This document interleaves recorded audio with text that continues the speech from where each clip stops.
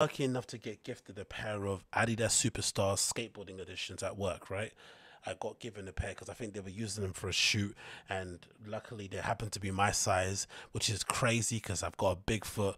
I'm basically a UK 10, but now because my feet have grown fatter or bigger or longer, I now have to wear a US 10.5. So I've got a really meaty meaty, meaty foot. It's not small, it's not cute, it's a big foot. And to go and get free shoes from anyone, especially stuff to do with the shoots, that means the model they used was a was a massive boy. And luckily that massive boy was the same size as I was, and luckily that massive boy didn't even wear them. They were completely brand new in the box and everything.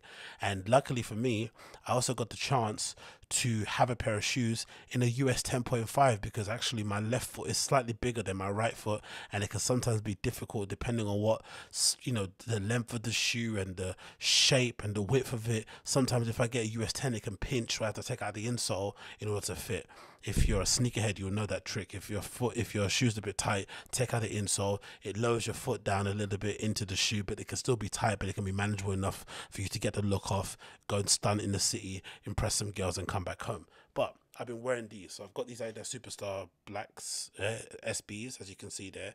They're really cool as well because they're an SB model They've got this really strange neoprene type fabric on the upper. So it looks, it feels like suede and nubuck, but it feels a little bit different. Maybe it's been waxed. So I'm assuming if you're skateboarding in these and you're going to be rubbing them against the grip tape, doing your ollies and stuff, it can keep the condition, it can keep, um, it doesn't rip or anything or get all tattered up and stuff. The shell toe bit, because I remember wearing shell toes once when I was in church ages ago. That was a time when, you know, we would honestly the church I used to go to was flipping amazing because we would go there every Sunday and basically stunt so I was that's when I was really super into sneakers. That's what when I was like well, maybe 18 to 21 or something. And what I would do is that every Sunday I'd try to wear a new pair, like a brand new limited edition one. And the other guys that I was in church there with, with some of my friends I used to go to church with, were also into sneakers and they'd buy some interesting things. But the thing I liked about that crew in church is that they were real sneakerheads in my opinion because they weren't always obsessed with buying the limited edition thing. They would sometimes go at TK Maxx, go to JD Sports and pull something and make it look amazing. That was what sneakerhead was. That's what being a sneakerhead was about. Nowadays, I feel like being a sneakerhead is about buying the most limited edition, the most wildest, you know, shoe that you can find.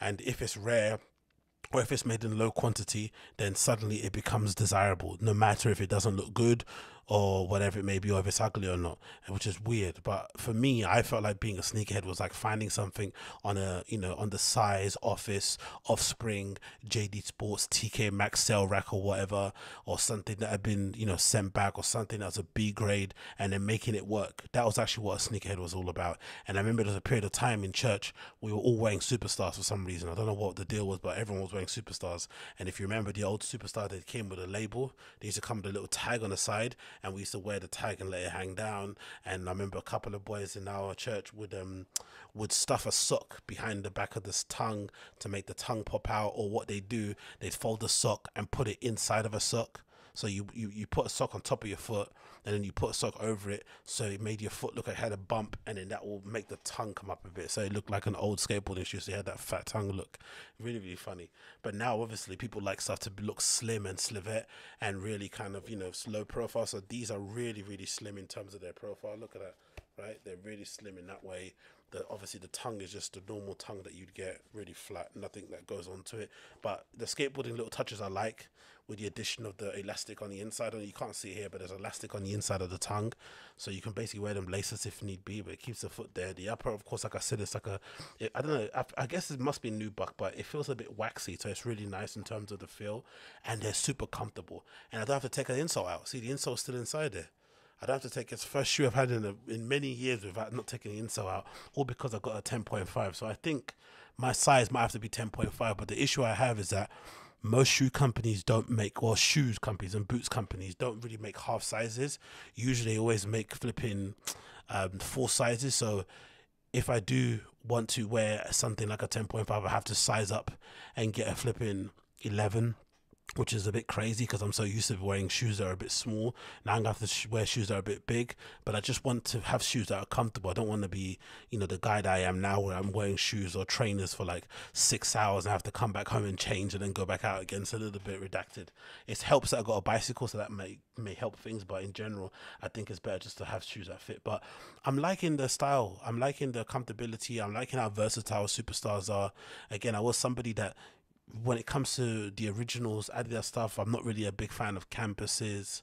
Um, I can't really. I'm gonna try to make the Gazelle works again or the Sambas, but I'm sure my foot isn't gonna be able to fit in them or make them look good.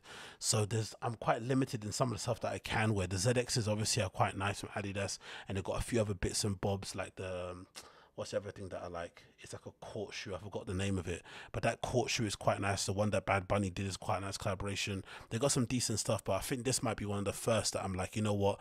I'm gonna try and get these. And there's another pair also that I'm gonna throw up on the screen here. I forgot the name of them. I think the the skater is called Caden or something like that, and he's got a pair coming in a purple and I think they're the same sort of material. Maybe they may be suede, and there's also another pair come up in the navy. So I'm gonna try and get my hands on them, but I don't know, man. So far, so good. I'm I'm I'm a fan. I've only worn them a couple of times, as you can see.